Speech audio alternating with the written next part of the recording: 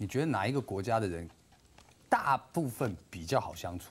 比较好相处哦。加拿大，加拿大人。加拿大的男生啊，对加拿大人，他们本本来就是比较 friendly，真的是每个人都，他们就是那种很爱心，很有爱心，然后就是而且很自由，对，然后他们就是想帮助别人，常常都是那种很 nice。譬如说你在迷路，哇，他们会带你去你要去的地方，这样子，哦对，很热心。觉得每一个男生都不一样哎，我真的哦觉得对，我不能，你不能说看到是台湾的男生觉得啊，他肯定是大男人主义，我觉得不一嗯，定。像我们就不是，他是，他不是，他他一点都不是。他是又来了，不过就是踢破一个马桶盖。那你觉得就是说，你接触过世界上这么多的男性的朋友哈，你觉得哪一个国家的人大部分比较好相处？比较好相处哦。加拿大，加拿大人。加拿大的男生啊，对加拿大人，他们本本来就是比较 friendly，真的是每个人都，他们就是那种很爱心，很有爱心，然后就是而且很自由，对，然后他们就是想帮助别人，常常都是那种很 nice。譬如说你在迷路，哇，他们会带你去你要去的地方，这样子，哦对，很热心、红十字会，加拿大人比较单纯，对不对？单纯，蛮和善纯，很和善，对不对？他们是蛮和善的嘛，对，不真的。那你你这辈子遇到对你最好的男生，嗯，是怎样的？是是怎样的？他很善解人人意对，善解人意呢。然后呢，什么都可以沟通，就是可以讲心事的。他的心事他可以跟我分享。然后呢，就算有一些争执，我们两个可以就是很，呃，心平气和，心平气和这样，很理性去讲讲道理。嗯，所以很很少会吵架，他很体贴吗？非常体贴。哇，那还跟他在一起吗？哎，对对对哦，那难怪，加拿大人。对对对对。加拿大人还是那他他他有时候在街上看看别的女生，你会不会生气？呃，其实女生呢都是那种我们。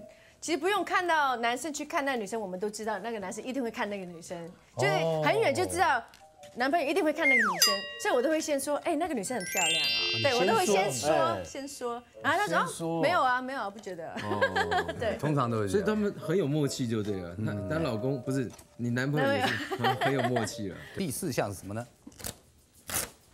爱面子，所以先呛分手。这应该算是少部分的女生了，对，因为一般的女孩子对于面子这个事情来讲，并不是那么的在意，只有男孩子才会，对，对不对？你就是这个嘛。所以每次都是你跟他们提哦，对啊，哎对啊，是 啊他们早就不爱我了，跟别的男生出去约会啊，但是还不跟我分呐。哦真的啊，劈腿啊！哦，那我干脆帮他们说出这句话嘛，不是啊你这种就是口袋宝贝嘛，口袋宝贝。把它装在口袋里面啊。备胎啊对啊。你知道吗？车上有备胎吗？有，长得跟你很像。以前啊，现在不会了，OK 了，没问题。来，我们来问一下地位啊，哎，对不对啊？你会为了爱面子所以先呛分手吗？不会，你曾经跟你的男人呛过分手吗？嗯，有，是什么样的原因？你为什么要呛？吵架？那你是不爱他了吗？爱他，那你为什么要呛分手就？是要等他讲说好了，对不起，结果对方哦结果就就这样子哦，就他讲说好了分了，当场败阵输了，输了，最后还是跟垮了，对不起，但是来不及了，没有，还是在一起了。这没有骨气的东西。我说他最后好像对他已经跟你说好了，你就我不是不是跟你要分手费是吧？我另外的，啊分手费，对啊，以前跟他分手跟他要钱，哎真的要六百块，要五万，五万啊，要五万块。哎呦，那你分手都不会很痛苦吗？会啊，当然了，我觉得我对啊，我我也是人，那你怎么发 我很理性，可是呢，呃，难过，听音乐，听听听音乐更难过吧？对啊，听音乐对啊，没有你就在家里哭啊，哭完就就好啦，然后就找朋友出去玩啊，所以我跟你讲，你知道为什么我在外面的时候跟你们喝酒我在哭？因为我在家里不能哭，怕我妈爸妈担心。孝顺。对，所以哭了，真的不好意思。你今天终于知道原因，我这些年来我一直不想讲。可是分手两年还在哭，孝顺是一辈子，对所以他哭到底。对对对，你知道结婚前就孝顺我的女朋友了。不是，不是你妈，怕你妈生气难过。所以说爱面子，所以先呛分。我觉得男女之间如果真的相爱啊，就不要管什么面子面子先摆在后面吧。如果说真的讲到爱面子，所以先呛分手，那就分手，对因为他可以爱面子胜过爱你，那就算了。对，对，第三项到底是什么？就是想看男生求饶的神情。女孩子是不是很喜欢看到就是男孩子比较呃示弱的那一面？对不对因为其实很难得可以看到那一面。那如果你愿意给我们看那一面，就是哇，他真的好爱我。哦这是你哦，起来，我 我演这个已经演到这边 O 七了，牺牲好大。好痛。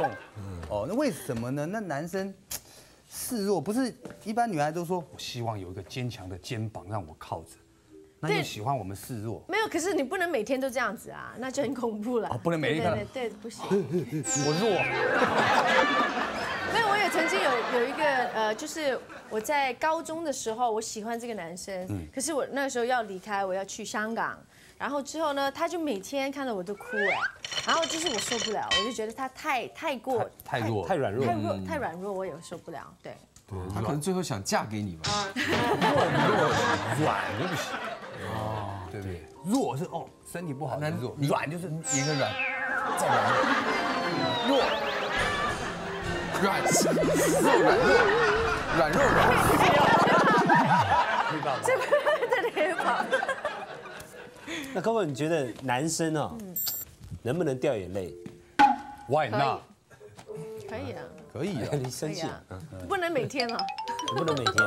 对，就是在真的是很重要的。如果女生跟你提分手，然后真的是这次你真的觉得，哎，他来真的，然后你很想挽救，对挽回，你就可能哭一下，然后就跟他说一些比较甜蜜的话，我觉得蛮有效的。嗯真的哦。对所以女孩子还是心软对，哦。至少我是啦，我会心软。对，我是那种，譬如说要分了，OK，我要走到门，哎，他把我抓住，你不要走，你不要走，我我我可能还是会留着。哦，真的哦。对，那可是如果说是两个分手以后 两个分手以后再见到，他可以哭吗？